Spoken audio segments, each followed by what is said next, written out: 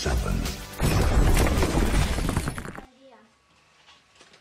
Siehst du das Licht ganz da hinten am Waldrand? Ja, das sehe ich. Dort gehst du hin. In diesem Haus wohnen gute Menschen. Ich glaube bestimmt, dass sie dich aufnehmen und lieb zu dir sind. 1963 finden vier schwarzafrikanische Gäste Aufnahme in Nürtingen. Dort werden sie an der Deutschen Landmaschinenschule ausgebildet und lernen Ackerbau mitten im Winter, kurz vor Weihnachten.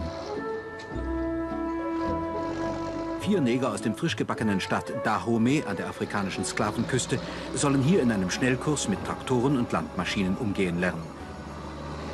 Und so geht es mit der zähen Strebsamkeit und dem jungen Nationalbewusstsein des afrikanischen Negers durch die verschneite Landschaft aufs Feld hinaus, wo man um diese Jahreszeit ebenso einsam ist wie in den Urwäldern.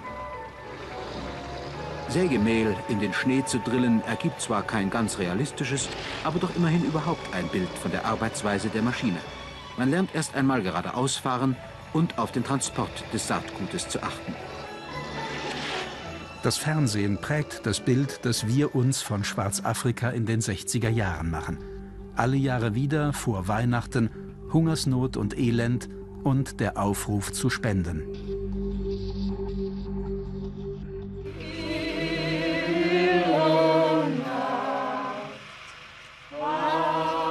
In diesem Jahr wurde ausländischen Studenten ein Weihnachtsaufenthalt bei deutschen Familien nur noch auf persönliche Bitte vermittelt. In der Regel verzichteten die in Freiburg, Mainz und Tübingen studierenden Ausländer auf Einladungen zu Weihnachtsfeiern. In fremder Umgebung bleiben viele der farbigen Studenten Einzelgänger, besonders die Afrikaner. Wenige finden Kontakt zu den Deutschen. Manche legen darauf auch gar keinen Wert. Sie schreiben oft nach Hause. Am Hochschulort schließen sich die Angehörigen der afrikanischen Staaten häufig zu Gruppen zusammen, die in der Regel unter sich bleiben. Vor Weihnachten schickt fast jeder ein Päckchen an seine Familie, denn auch im afrikanischen Ghana sind Weihnachtsgeschenke Sitte. Auch sein Päckchen wird damals über Stuttgart nach Ghana versandt.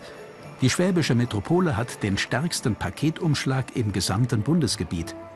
Die Deutsche Bundespost versorgt vom Stuttgarter Hauptbahnhof aus 30.000 Orte mit Weihnachtspaketen.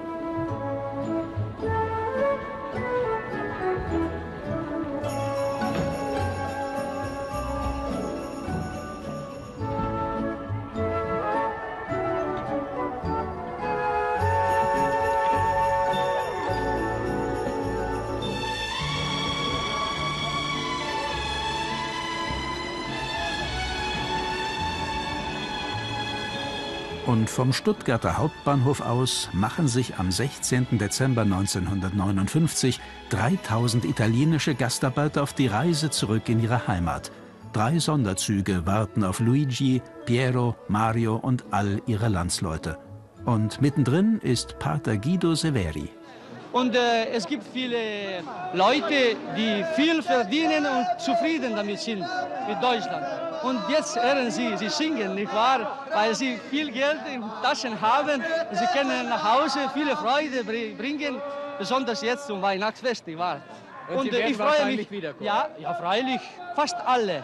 Nächstes Jahr kommen Sie mit mindestens 40.000 in Baden-Württemberg.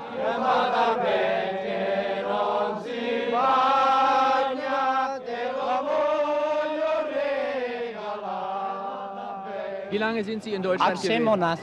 Und Sie haben hier gearbeitet als was? Bis Fabriken malen. Äh, wo? Cannstatt. In Cannstatt. Und haben Sie gut verdient in Ja, Deutschland? ganz besser. Wo sind Sie zu Hause in In Italien? Sizilien. In Sizilien? Ja. Werden Sie wiederkommen nach Elf Deutschland? Innova. Und es hat Ihnen gefallen? Nochmal in die Fabrik mitarbeit. Kolben machen. Dankeschön. Kann schöne Arbeit, danke. Auf Wiedersehen. Auf Wiedersehen. Auf Wiedersehen. Auf Wiedersehen. Vielen Dank.